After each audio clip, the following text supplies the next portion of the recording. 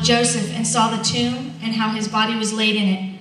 Then they went home and prepared spices and perfumes, but they rested on the Sabbath in obedience to the commandment.